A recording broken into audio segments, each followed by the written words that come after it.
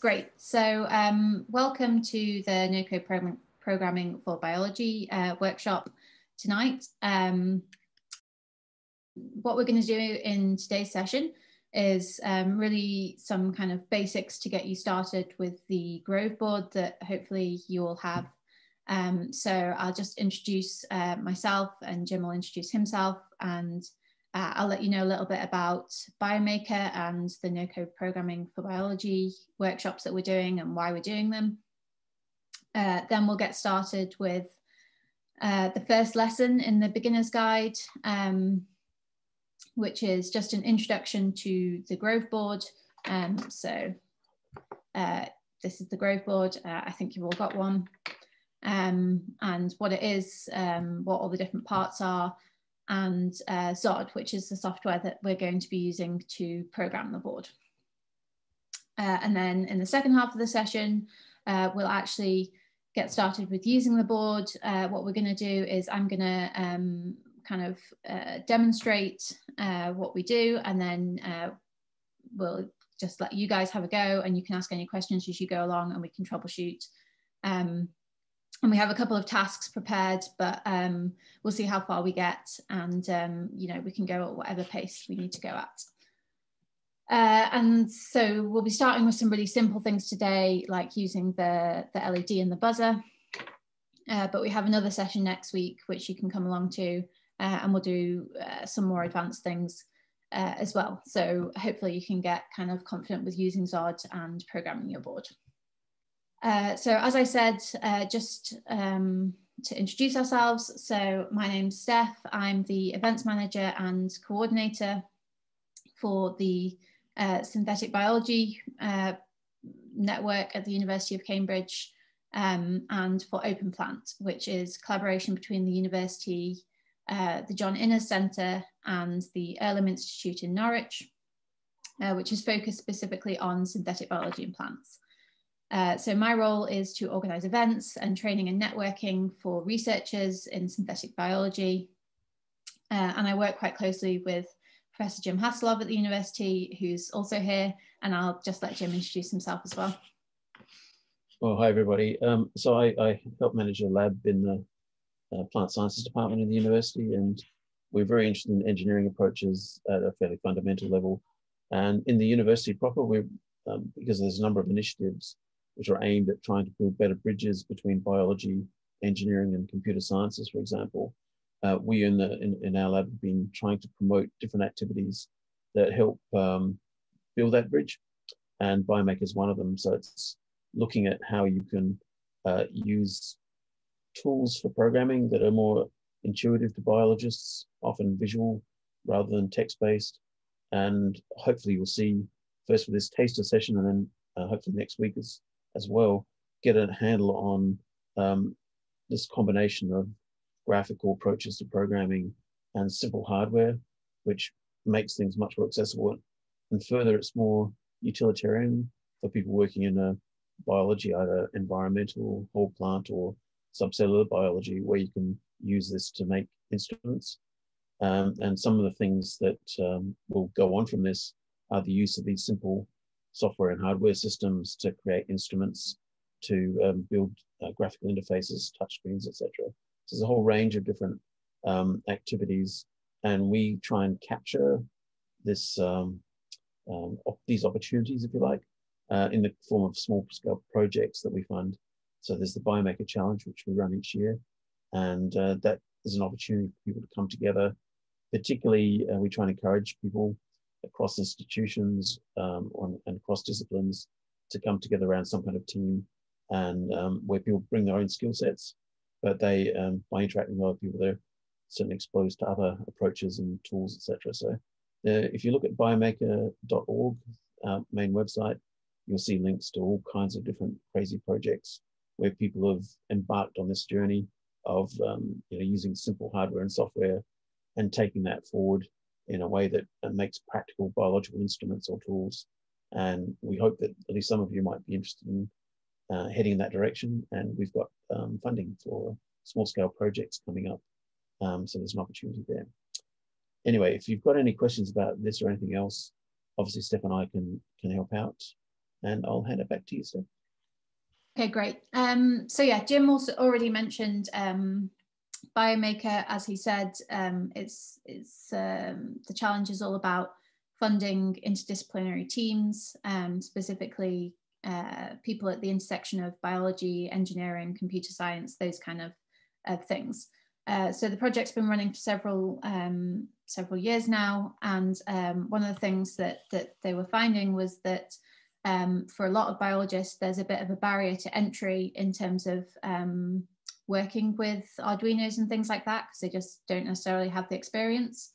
Um, so the idea behind the no code programming course was essentially to, to help um, biologists gain these skills and get kickstarted in this area. So as Jim said, uh, we're working uh, with really simple hardware. We have these Grove boards um, from Seeed Studio, uh, and they have a load of useful um, sensors and, and components already built into the board. So we don't have to learn about electronics or wiring or anything like that. And then the other half is all about um, graphical programming. So instead of text-based programming, we're using XOD software, which allows us um, to, to program uh, in a kind of visual way um, and you know it doesn't require hours and hours learning a new coding language. So um, hopefully by combining these two things we can help um, get biologists kind of kick-started with building their own devices for things like the biomaker challenge or or whatever you're interested in.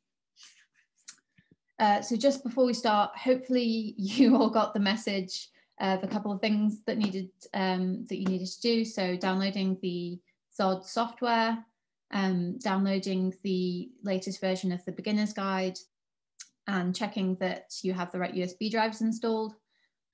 Uh, I should say the XOD software um, can be downloaded from the XOD website, which is www.xod.io. Uh, so getting started with lesson one, it's all about the board and the XOD environment. Uh, so I'll just quickly run through uh, the Grove board, um, and tell you a bit about uh, what each of the parts are and what they might be useful for. Uh, so starting in up here in the top left, uh, we've got an LED and a buzzer. These can be really useful devices uh, for things like warnings or alarms. Say if you've got an environmental sensor and you want it to notify you um, when it's gone over temperature or something like that, they can be really useful. Uh, they're also really useful for just kind of playing around and getting started uh, which is what we're going to be using today.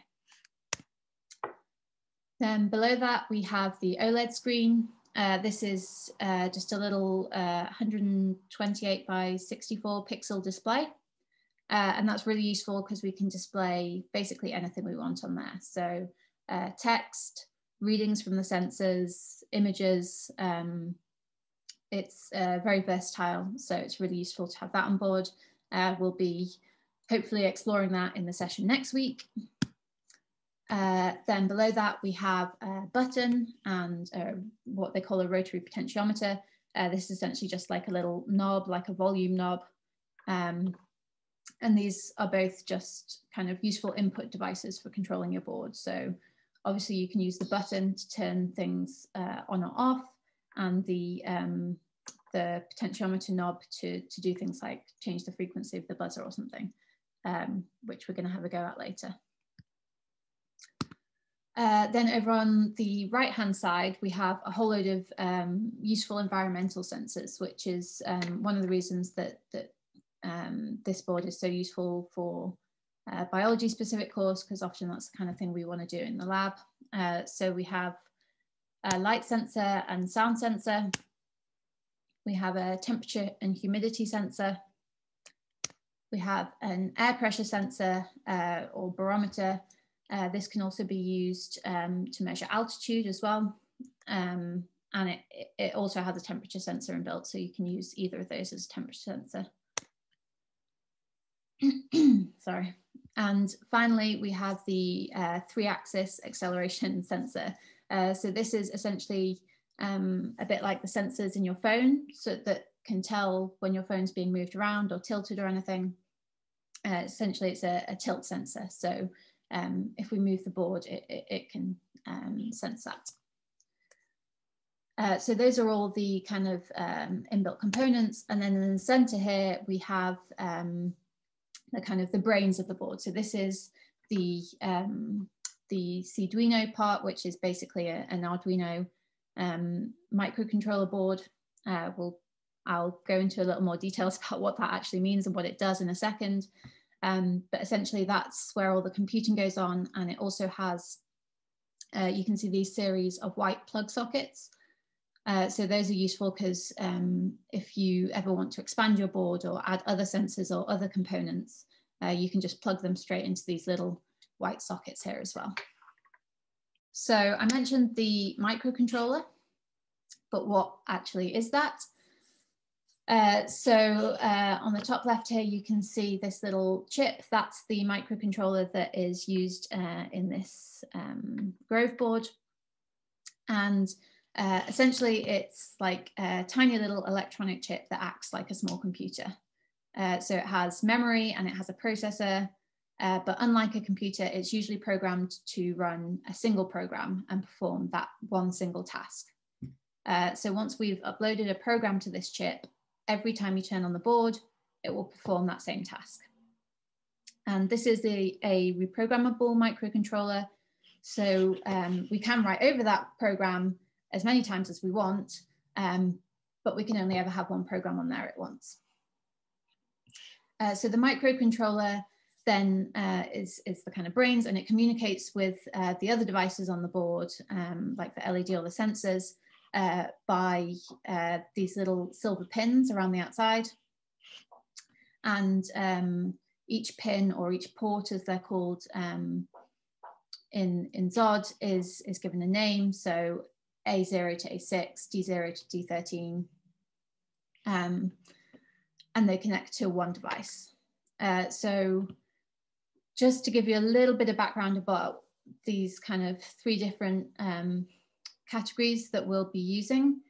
Um, there are there are kind of lots of different types of pin, but the ones that we'll be looking at are analog, digital, and I2C. Uh, so analog pins are used for analog devices. Um, so many of the sensors, anything that has a kind of continuous value and analog output. Uh, the digital pins are obviously used for digital devices. So anything that operates in a discrete on-off pattern, like the LED, for example. And then the I2C is uh, essentially a, special type of digital communication where you can actually have several different devices connected to the same pin. And then you tell which uh, device is which by giving them a name or an address. So uh, here on this board, uh, the three axis uh, acceleration sensor has the address 19H, the air pressure sensor has 77H, uh, and the OLED screen has 3CH. Um, so that's just um, a way of of using the same pin, but having actually several different devices on it. Um, don't worry if that's a bit confusing, you don't have to remember that. The, the reason we need to know about this is essentially that when we're programming, we need to know which um, device is connected to which pin because we need to input that information into the program. Uh, and actually really usefully on the Grove board, uh, it says right next to um, each component which pin it's connected to. So just above the component, um, it has like a little white uh, name and next to it, it says the name of the pin. So for example, next to LED, it says D4. So we know that the LED is connected to pin D4. Okay, so uh, we have our board with a microcontroller and the microcontroller communicates with these components. Um, but how do we actually program that board? Uh, so this is just to quickly describe the kind of workflow that we'll be going through. Uh, so we start on our laptop or our PC. Uh, we open the XOD software. We create our program in XOD, and then uh, we upload it via USB cable to the Arduino board. Uh, on the Arduino board, it's stored on the microcontroller, and then that's in the memory of the microcontroller. So we can um, we could, if we wanted to, unplug it from the computer and plug it into a different power source and it would still run that same program. Uh, and then as we said, the microcontroller then uh, communicates with the components via its uh, pins. That's everything about the board. Um, I can answer questions now if anyone has one, or um, if you think of a question later, please feel free to ask. Otherwise, I'll carry on and I'll just give you a little bit of an introduction to the XOD software that we're going to be using. So this is the, the XOD software. This is the kind of screen you'll get the first time you open it. And I'll just take you through the kind of different parts that we'll be using and, and what they do. This kind of central portion of the screen, uh, this is called your patch. It's essentially like a blank canvas um, or, or a, a, file. And we'll, this is the area that we'll be using to build our programs. Uh, so in XOD, instead of writing text, we build programs using these little black boxes called nodes. Uh, so you can see that this patch has three nodes on it, uh, one called clock, one called count, and one called watch. I'll talk a bit more about those later, but essentially we put nodes into the patch and we link them together to make our program. Next up here, we have uh, the project browser. And uh, next to where it says project browser, we have a couple of useful buttons, uh, primarily the one that looks like a little page. Uh, so that is new patch. So we can create a new file. And uh, next to that, the one that looks like some little books, that's the add library button. Uh, so we'll be using that later in the session. Essentially, all of the nodes in XOD are organized into libraries. Um, there's some kind of core libraries which XOD has made themselves, and then um, users are free to make their own libraries um, and make new nodes. Some of the devices on the board XOD doesn't have a node for, but other people have made them. So it's really useful to be able to add other people's libraries as well. Still in the project browser, but below those buttons is your project and your patches the kind of XOD terminology, a project is basically like a, a, folder and a patch is basically like a file. So you have your project and it's full of patches and each patch acts like a separate program. We'll go through this when we when we do the examples anyway, but you can see up here um, that there's a project called Welcome to XOD and there's patches called Hello and um, Simulate and Inspector, etc. So below that, still in the same kind of project browser pane is then where all of your libraries are. Um, so if it's the first time that you're using the software, it, all of these will probably be XOD forward slash something because they're all of the XOD pre-installed ones. Uh, I obviously have more libraries installed here and they, if when you add new libraries using that library button, that's where they'll appear. Uh, then below that is the inspector pane. Uh, so this is where we're actually going to be kind of editing our nodes. So uh, when we put a new node in the patch, um, we want to change some of the parameters. Uh, we'll click on the node and uh, some information will appear in this inspector pane. And um, that's where we can edit all of those properties. And then over here on the right is the quick help pane. Uh, this is really useful. If you can't see it, by the way, um, there's, there should be a little question mark button in the top right. And if you click on that, then the quick help pane should appear. And that is really useful when you're learning because it basically, um, when you click on a node, it tells you all about that node. It tells you what each of the, the pins does. Um, so that's really useful to, to kind of have open whilst you're working because you can um, check things out in there. And then I think the final thing is these um, little buttons at the bottom of your patch down there, the upload buttons. Uh, so the two that we're going to be using are upload, which is like a little lightning bolt, and upload and debug, which is uh, like a little ladybird. Uh, just another note on the kind of terminology in XOD, because they, they have all these kind of specific names for things. So we already said that uh, you have a project and within your project you have patches, which are like files. Uh, and we said that we build up our programs using nodes. Uh, so nodes can represent a number of different things. They can represent hardware, so you can have an LED node or a buzzer node, or they can represent functions, so um, and or um, count which obviously counts up, those kind of things. So basically everything in XOD is built with these nodes. Uh, and they look like this, they're a little black box. Uh, they have um, a number of circles on the top and bottom. So these circles are called pins, and those are essentially the inputs and outputs. So on the top, you have the input pins, and on the bottom, you have the output pins. Just a quick note that um, Xod uses the word pin differently to a microcontroller pin. Um, so they're not the same thing, which is slightly confusing. Um, but XOD calls the pins on a microcontroller ports. And finally, links. So, um, you know, we build our program um, by adding in these nodes and then we link them together to, to build the program and to make it work. Okay, so we're going to get started with uh, testing our board. So what I'm going to do is share my screen and work through an example, and then um, maybe we will um, split off into two groups and we can just work through the problem. So uh, I'll have done the example. The, there's also a step-by-step -step guide in that beginner's guide that hopefully you've all downloaded. Um, so we can go through uh, the tasks as we go. Okay, great. So um, as I said, this is the, um, the Xod software. Um, it's not the first time I've opened this software, so I have a slightly different screen. Uh, but either way, if we want to start a completely new project, um, the first thing we can do is basically um, make a new project so that we have a clean slate.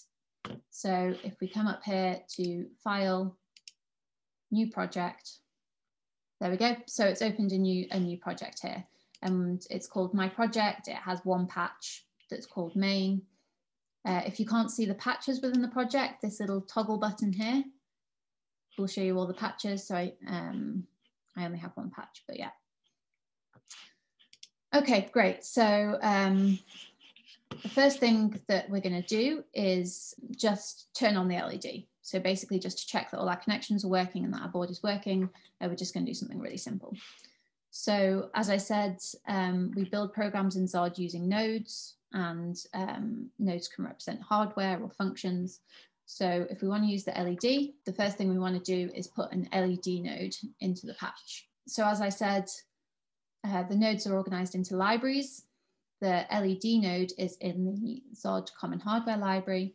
Click the little uh, drop down button and we can find the node called LED. We click on it, drag it into the patch, and we now have an LED node in our patch. We can see that this node has uh, three input pins at the top here, port, lum, and act and it has one output pin called done. Uh, so the first thing we want to do is change the properties of some of these pins so that we can set up the node right so that it can communicate with our board. So as I said, when we click on the node, information appears both in the inspector pane over on the left and the quick help pane over on the right. In the quick help pane, it gives you a bit of information about what the node does and then tells you what each of the uh, pins does as well. And then over on the left, this is where we actually do the editing. If we look at our board and next to where it says LED at the top, um, we can see that it says D4. So we know that the LED is connected to port D4. Uh, so we're just going to change that parameter now, uh, D4. The next input pin is LUM. We can see in the quick help pane, it tells us what this does. It um, represents luminance. Um, so zero being the LED is off and one being the LED is uh, the brightest. So we'll set that to one so we can definitely see it. And then act is a Boolean pin, so it can be true or false. And that essentially says whether it's going to update or not. So we want, we definitely want it to, the program to update. Uh, so we'll set that to true. Hopefully that all makes sense. Um, this seems really simple, but this is our first program. So we're actually going to go ahead and upload this. I mentioned that the upload button is down here. Um, I think you can um, use another way by going to deploy upload to Arduino. Either way, um, you get the same window that opens like this and you have to set a couple of parameters first. Um, so the first one is the board model. Uh, there's a whole load of different options here, but the one that we want is Arduino Uno. Uh, and then the serial port basically tells it which computer port it's uh, the board is connected to. So there should be one that says uh, has Silicon Labs in brackets. Um, so these are just headphones, um, but that's the correct one. So once we've set those two, we only need to set them once, and then every time we, we do it after that, they'll come up with the same. So we don't need to worry about that every time. And we just click upload. And I'm just going to show you on my board uh, what's happening. So I don't know whether you saw that, but the LED at the top here just turned on. Um, so that's really simple, but that's all we're going to do for now. Um, make sure everyone's boards are working and then we can go on and do a couple more tasks. Uh, so I think uh, I'll just go ahead with the, the next kind of task that we were going to do. Um, so this is essentially just um, a little expansion on this um, simple patch. Now, instead of just turning the LED on, we want to actually control the LED. Um, so we're going to use the button to um, switch the LED on and off. Again, the, uh, the button is in the same uh, library as the LED, the XOD Common Hardware Library, so I can see it right here. Uh, and I, again, I can just drag this over into the patch. We now have the button node in there as well. So same as before, we need to make sure that the, um, the input pins are set correctly. Um, so if we look on our board next to where it says button, it says D6. So the port needs to be set as D6. And then the update pin um, basically specifies how often it updates. So we just want it to be continuously updating. We set it to continuously, it says loop here. Um, so that's now all nice and set. Uh, so this is where we get to the, um, the point where we have our two nodes and we actually need to connect them. So this is where we start making links and this is essentially how we build up a program in XOD. So we want to make a link between this press pin here, um, uh, PRS it stands for press, so uh, that will switch to true when you press the button. Uh, and we want to link that to the LUM pin of the LED. So what that will basically do is when you press the button, um, that then sends a signal via this link from the button uh, to the LED. And it affects the luminosity of the LED. Uh, so if I upload this now, I'll show you what happens on my board.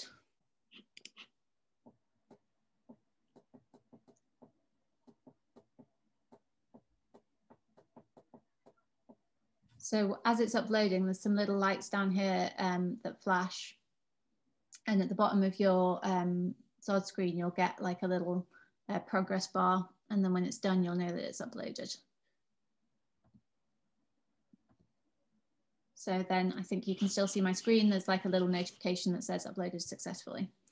Um, so it's not done perhaps what we were expecting. We are expecting it to turn off and then we could press the button and it would turn on.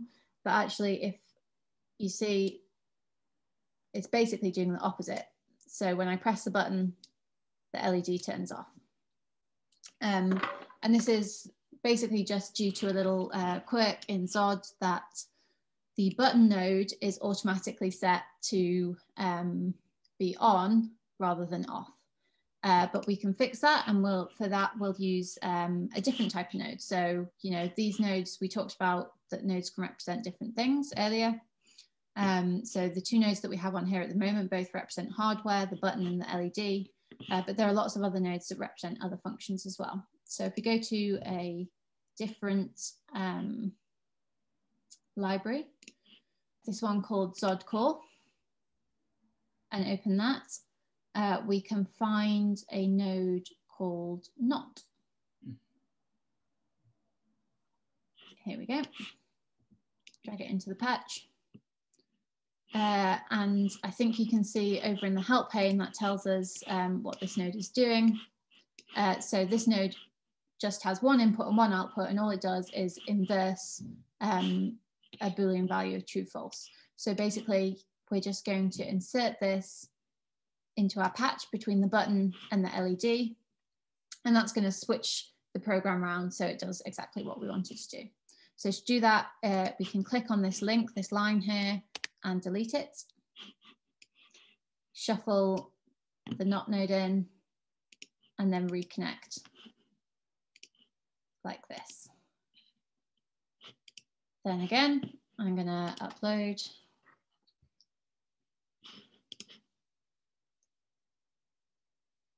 And this time it should work how we want to. So sometimes there are kind of little tweaks like this, um, but it's really useful to kind of explore the different nodes that um, that XOD has on offer, so you know what what you can achieve and how you might be able to, to kind of tweak things when they're not do, working how you want them to work. So it's uploaded now, and this time um, you can see that the button is uh, turning the LED on, and it's the the right way around. Can I just say one thing too, which mm -hmm. um, is just the shortcut. If you know what the name of the node you want is, so if you want an LED node, if you just double click on the work surface, and then you'll get a um, box just what as Steph's demonstrating now, which is really handy. Just yeah, make sure you click the right one. That's that's that's the tricky bit. So yeah, it's in the XOD Common Hardware Library, so it's this one, and then you just click on that. So this is how I usually insert stuff. Um, again, in the beginner's guide, there is there is um, a little kind of text box that says about the different ways you can add a node. Um, but yeah, that shortcut is really useful. Yeah, so the next thing, uh, that was essentially, um, if you if you take a look through the beginner's guide uh, after this session, everything that we've done in this session is, is in there. Um, that was essentially task one. Task two is then kind of expanding on this a bit, learning how to add a library, learning how to add other inputs, also using a new device. So instead of the LED, we're gonna um, practice with the buzzer. So to add a new library, we talked about at the beginning is this little um, button up here. You have to type the full name of the library, unlike when you start typing the name of a node, it kind of looks up, um, but it doesn't seem to do that with libraries. Um, the library is called Marco Aita MA Library. Uh, here we go. Uh, so I already have this installed, but if you just click on that, it will um, install the library for you. When it does, you may get a little notification um, at the bottom of your screen saying that you need to install dependencies. Um, you can just click OK on that or upload or what, whatever it says. Um, and that should install everything. And then any new libraries that you install will basically appear above the XOD libraries here.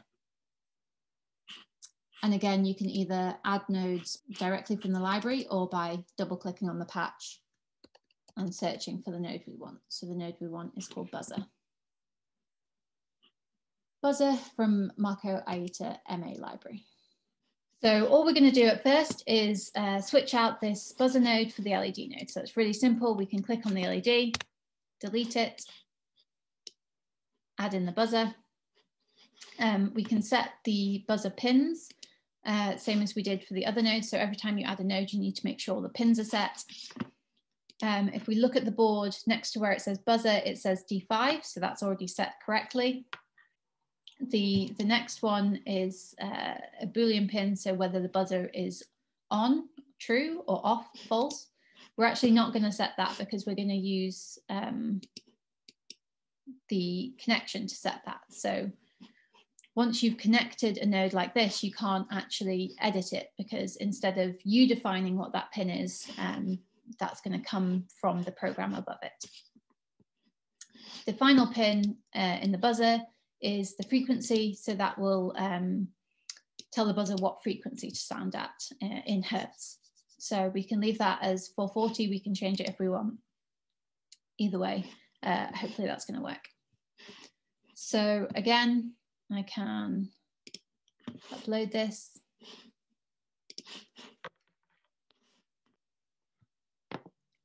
So now we can see when I press on the button, the buzzer sounds. Uh, so the next thing we're going to do is add another input from the board. So we're going to add um, this potentiometer here. So this little um, twisty knob. Um, so again, XOD already has a node for this, um, so I can find it. Uh, it's called POT for potentiometer, and it's in the Common Hardware Library. Add that, and we are going to use this node to change the frequency. You know, we could try connecting it to the enabled pin to use it as a switch, but actually we'll try controlling this other um, input pin here, the frequency. So if I try and link this directly to here, I'll show you what happens if I upload the, the program like this, because again, it's not quite how you'd expect. There's another node we need to add in there. Um, so when we do this, because we still have the button on there, I'll need to hold down the button to make it work, but I don't know if you can hear this. Hopefully you can. It's not really changing that much. And essentially the reason for that, as we can see, if we uh, if we click on that node and look over in the, the quick help pane over here that tells us a bit about the node, we can see um, that the range of this output, this value output, is between one and zero. And the range of the buzzer um, is obviously a frequency in hertz. So like between one and zero hertz is not going to make much difference. So what we want to do to change that is essentially add a node that will allow us to remap these ranges. Uh, so usefully that node is called map. It's from the XOD math library and we can add it here. Uh, again, we're going to delete this line and add this in here. So we add it to the input X. Um, if we uh, if we look at the quick help, you can see that X is the, the value that we want to map and the output comes over here to the frequency. So the pins that we have are um, SMIN and max, Tmin and Tmax. Again, it says over in the quick help pane what they are. That's really useful to know. Basically, it's the source range and then the target range. So we know from um, just looking that the potentiometer range is between zero and one. So we'll set zero and one. And then we can basically set whatever range of hertz we want the frequency to be. So I will try 200 to 1000. We can upload again.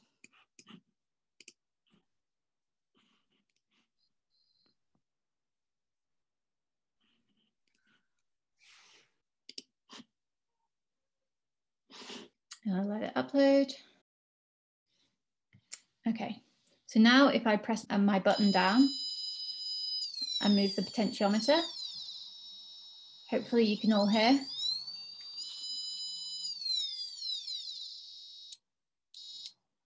That that is actually changing the frequency as well.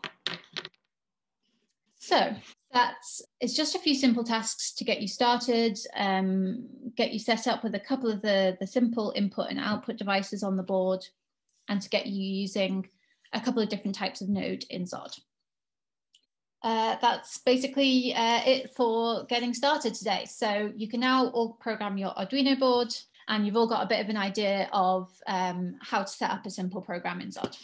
Just to kind of set you a little micro challenge for next week. I think some of you are already kind of playing around with um, with XOD and the different things you can do. Um, but really it is the kind of the best way to work out what's possible is just to play with things. So, you know, play with the pin parameters, see if you what happens when you change things, um, see if you can achieve different things. So can you make the buzzer turn on and the LED turn off at the same time? Can you get your light to flash? Um, things like that. So um, I'll send around an email after we've finished. Um, but if you just want to have a go at these little tasks, that's a really good way to, to get a bit more comfortable with using uh, XOD programming as well. And just to quickly um, wrap up and tell you a bit about what we'll be doing next week. Um, so hopefully you've all, all downloaded the beginner's guide and have been using that today. Um, we went through lesson one and lesson two, uh, which is a, a, red section and a green section, I think. Um, next time we will do a little bit on lesson three, which is all about some of the most useful nodes in XOD, but we won't be doing a hands-on session. So if you're super keen and uh, you're enjoying this as well, please feel free to work through lesson three. we will go over uh, some of the basics of that at the start of next session. And then really what we want to spend uh, the most of next session doing is um, showing you something a little bit more complicated in XOD. So how to build your own node so that you can use the, um, the OLED screen on the device. Uh, so this is uh, really useful because it can basically allow you to do a lot of other stuff as well, and it brings in some of the more complicated um, functions of XOD uh, that will hopefully give you a really good grounding for when you want to make your own um, stuff. And then if we have time, um, we'll we'll break out again and um, you can have a little play around and see, see what you can do with your board. So as we mentioned at the beginning, this course came out of the Biomaker Challenge as a way to, to kind of help biologists get those skills so that they can actually do stuff like this. Um, so if you are interested in building your own devices and you want to get some funding to do so, um, we'll be holding a briefing on Monday. And basically, we'll be telling you how you can apply for this year's challenge. And that's it for today. So uh, I'll just check the chat to make sure um, no one's asked any last minute questions, but um, thank you all for coming and um, hopefully it was useful and you enjoyed it.